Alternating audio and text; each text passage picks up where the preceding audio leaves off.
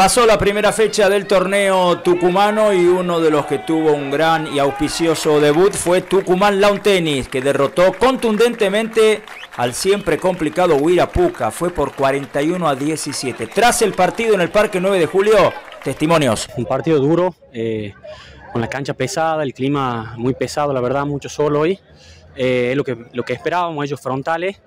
Eh, pero creo que han salido las, las ideas que, que, venimos intentando desde que nos hemos vuelto a juntar en, a principios de febrero.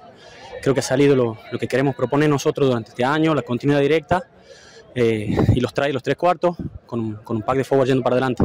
A todos los equipos le queremos hacer puntos, a todos los equipos le queremos jugar.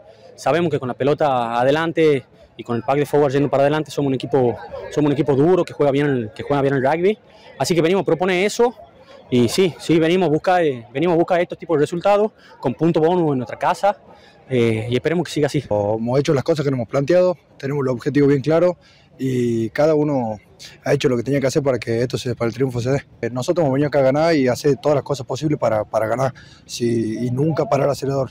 En el momento nos ha costado y después lo hemos vuelto a acelerar y gracias a eso creo que ha sido el resultado abultado, pero nuestro objetivo no ha sido, eh, nuestro objetivo es ganar.